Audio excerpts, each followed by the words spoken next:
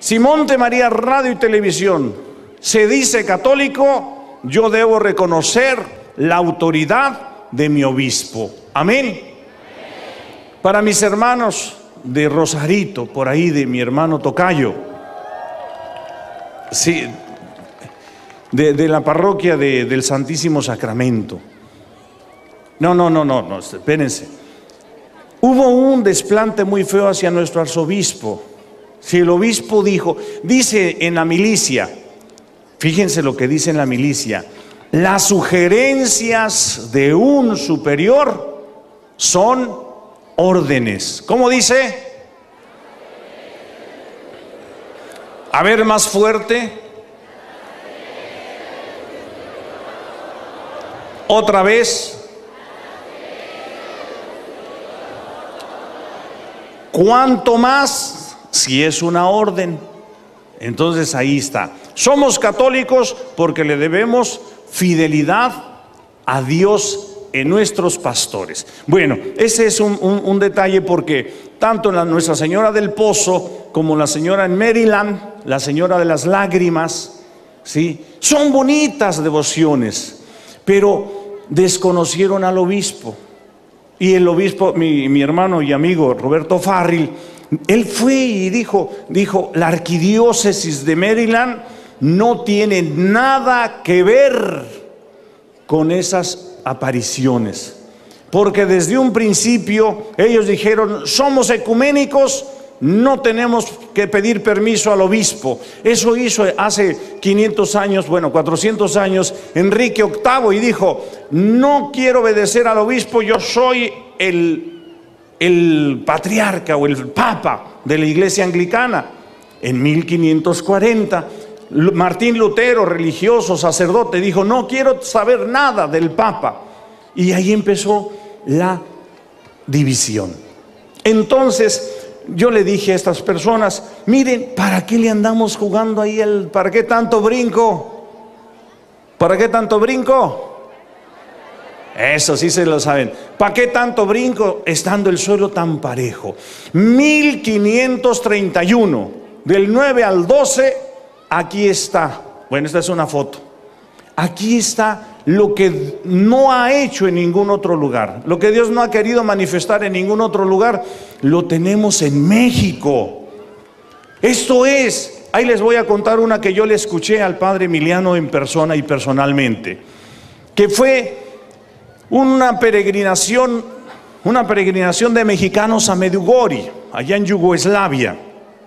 Esta, esta aparición yo estuve cerca del padre Emiliano Tardif, para la gloria de Dios, y yo se le escuché personalmente porque en 1981, estando reunidos los líderes de la renovación carismática, el padre, creo que era el padre Joso, dijo, hagan una oración por mí, porque había muchos problemas en Yugoslavia, en países comunistas, y entonces que el padre se sentó y otros sacerdotes, incluido el padre Emiliano, impusieron las manos. Y el padre Emiliano tuvo una visión y le dijo, veo un gran trono y mucha, una fuente de agua que sale de ese trono.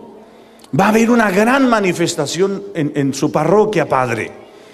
Y en ese, en ese lapso se manifiesta la Santísima Virgen el 24 de junio de 1981, el año mismo del atentado del Papa, un mes después prácticamente.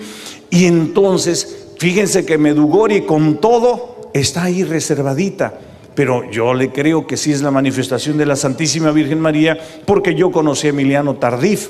Y entonces, que van estos peregrinos ahí, mana, ya hasta Medugori y van allá y que hoy sí que el, monte de la cruz y el Cresibach que se llama y la capilla de las apariciones, eso es bien y maravillosamente bien.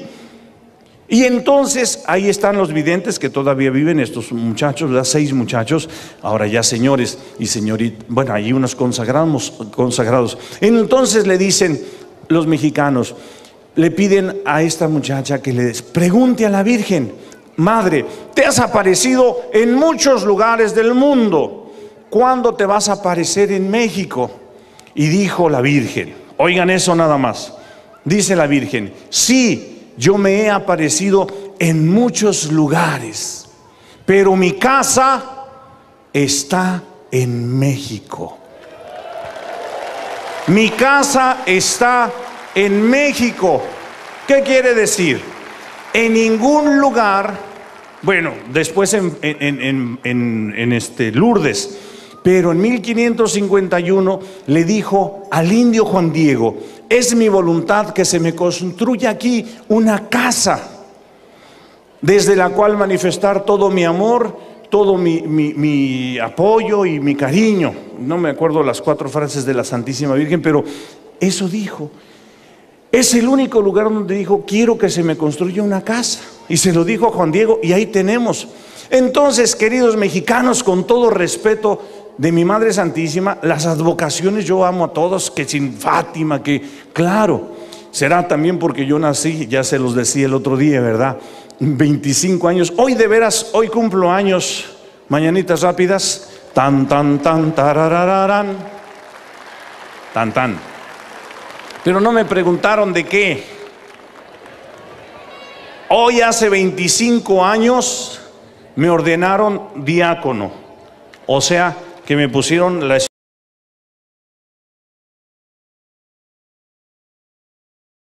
la ordenación sacerdotal.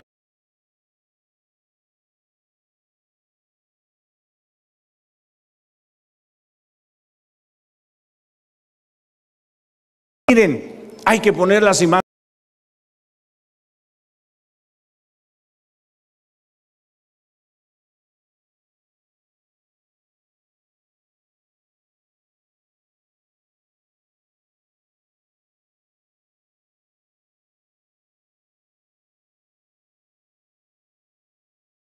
Pero llévenla de Guadalupe.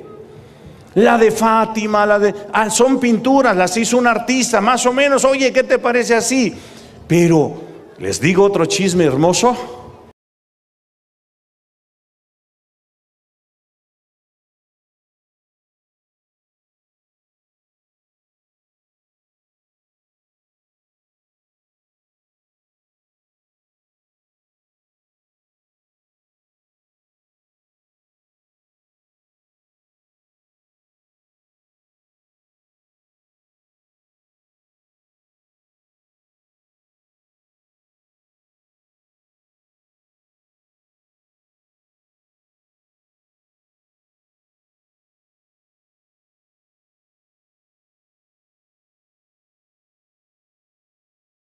Hermano Rodrigo, ya hasta se me fue lo que les iba a decir.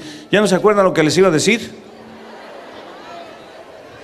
Pues sí, de la Virgen de Guadalupe dedica todo su dinero. Sí, un chisme, pero ya se me olvidó, ya ven por andar pensando mal. Bueno, ahorita viene el chisme y les digo, entonces vamos, vamos sacándole provecho a la Santísima Virgen de Guadalupe. Yo creo que con lo que ya les platiqué, ya llevamos tres, tres misterios, ¿cierto? ¿Cuántos llevan? Uno. Ah, pues síganle ustedes, yo platicando y ustedes echándole ahí. Vamos a poner un cantito para mientras que me acuerdo. María, modelo de una mujer en la familia. Y esto tiene que ver con nosotros. Vamos a ver.